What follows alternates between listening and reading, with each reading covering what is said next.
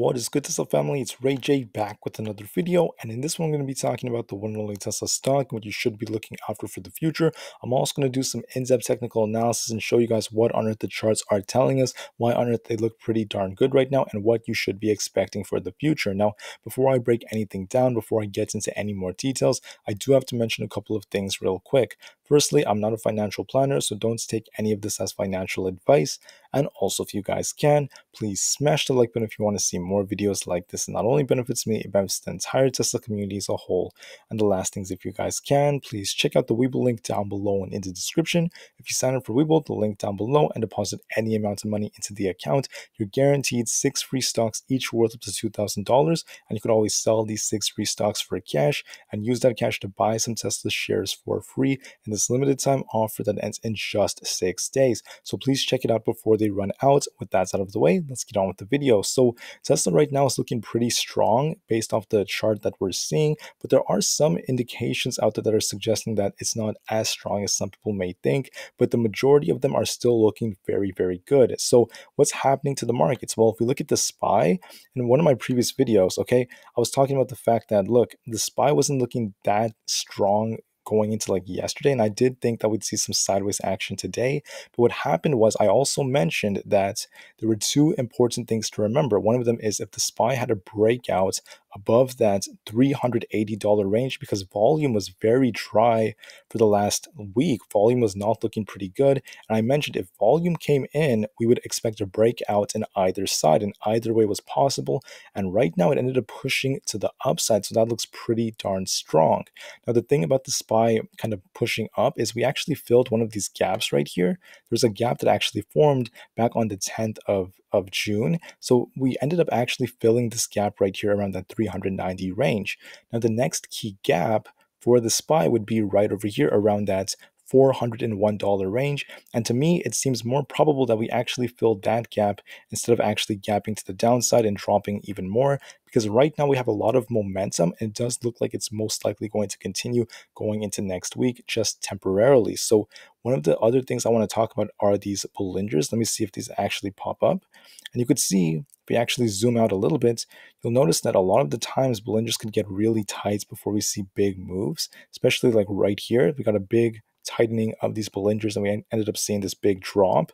And we saw this big drop relative to the basis line right here. And then what happened was, I wouldn't say it got that tight, it got a little bit tight right here. Then we started to see that breakout on, into the upside. So from this perspective, looking at the MACD, we seem to have more room to kind of continue with this momentum. And as long as volume continues to stay up, we should be set for even more bullish price action. And the next key zone for the SPY would essentially be that 400 range, which would really prompt the market to the upside. Now, for the NASDAQ, very, very similar story. And I need to talk about these because they will kind of have this correlation with Tesla. They will affect it to some degree. And you'll see right here, uh, we got the tightening of those Bollingers. We got this breakout to the downside. We got all those gaps that formed for the NASDAQ. Then ultimately, we got another tightening right here, and we're starting to see some more of a push to the upside. Now, when it comes to the way that they're moving, if you look at RSI, it's also pushing up. It's been kind of consistent right here. So right here, we were almost seeing this this drop right here and we were seeing lots of sideways action because the resistance was just in the way but we ultimately tested it and actually broke out of it. So it's looking more bullish than bearish as well for the NASDAQ. So, what do I think is going to happen to NASDAQ? Obviously, we have another gap very similar to that of the SPY. They tend to run almost in unison. I mean, the whole market essentially, or the large majority of stocks, are almost running in unison in a way. So, I do see another gap fill being more probable for the NASDAQ. It does have a gap down. That is something you should be kind of prepared for. But right now, it seems upside is a little bit more on the probable side. So for Tesla, what on earth does this mean? For Tesla, I think Tesla has a, a lot of room to kind of continue moving up, but I don't think it's going to move to the uh, uh, degree or to the exact numbers some people are expecting because there are a lot of people out there that are saying Tesla's about to go to 800, it's about to rally, it's about to squeeze. And there is some truth behind that. I do think Tesla has room to kind of continue to the upside, but I don't think it's going to run that hard. And that's really kind of like indicative of how this is moving so far because you could see this is starting to resemble almost a very sloppy looking head and shoulders. I mean, it's a little hard to see right here. And we actually formed almost like this. We, we downtrended to that 6 to 6 range, got a nice bounce. We're starting to respect an upward trend. And then right here, you could see there was this trap right here that formed that kind of continued to see this upside as volume really started to increase. So Tesla does have a gap down. I think it has a gap down here. Let me actually double check it we do have a gap down, but I don't see that getting filled that quickly. I think it's like right here.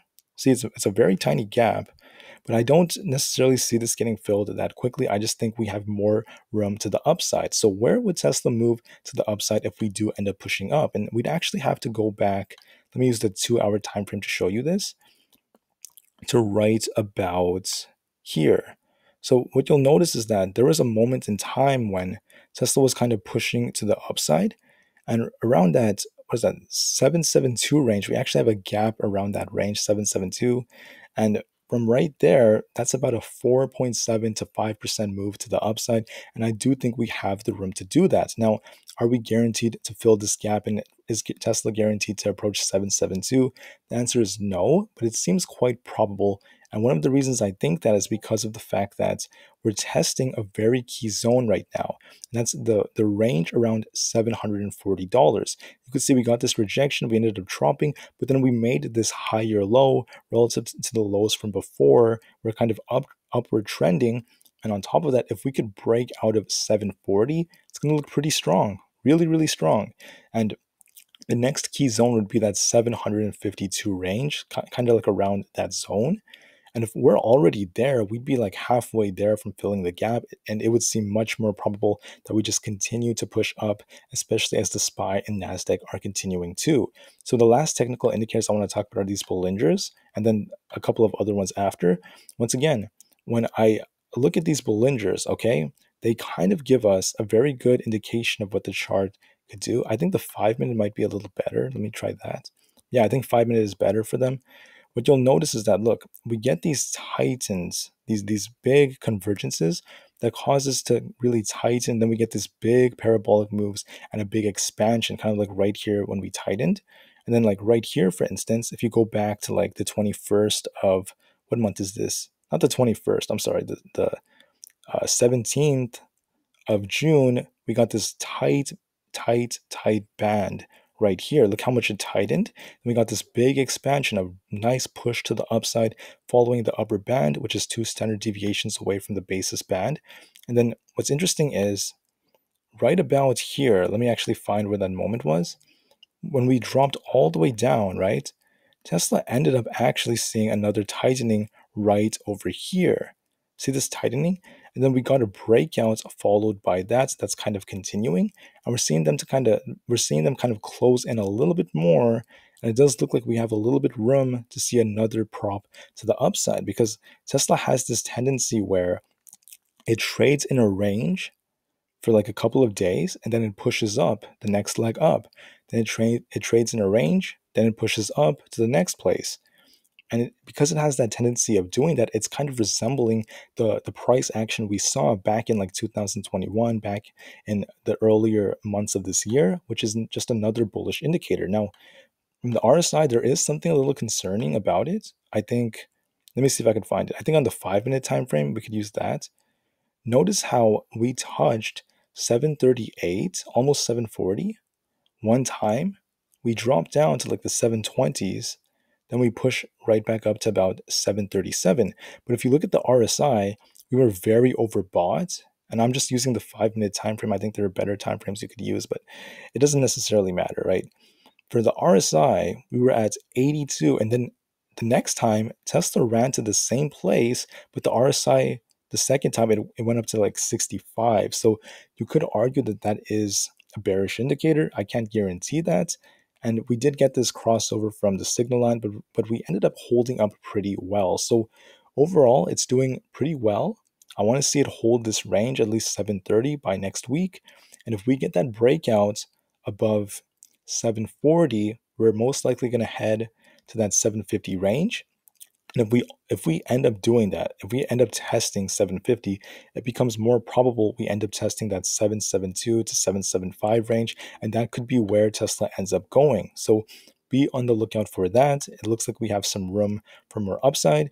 Do I think Tesla is going to do this forever? The answer is no. I'm not saying that this is gonna this is guaranteed to last for the remainder of the year. It's just a temporary relief balance, which is kind of expected considering how much the market was oversold for so long.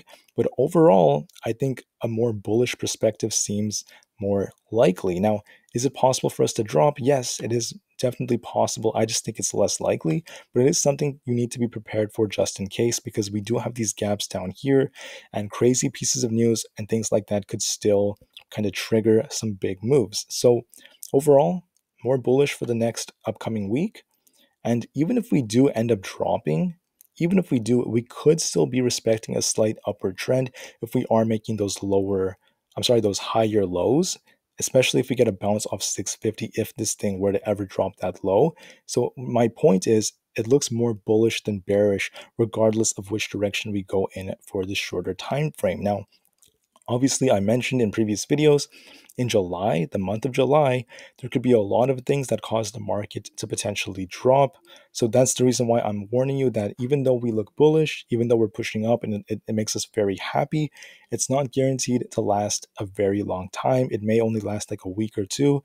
So during this time frame, trade based off what the chart is telling you. Be prepared for anything, and just note that July is still going to be a very important month for the year, considering CPI, the FOMC meeting, Fed changes to policy, and uh, GDP data are all coming out. With that out of the way, before July starts, we have another week left for June, and I think upside seems more prominent and more likely for the markets, especially for Tesla. With that out of the way, I'm going to actually give you guys my prediction specifically on Sunday. And I really wish the best for each and every one of you. So enjoy your Friday, enjoy your weekend. I will see you guys in the next one. Tesla to the moon, and peace out.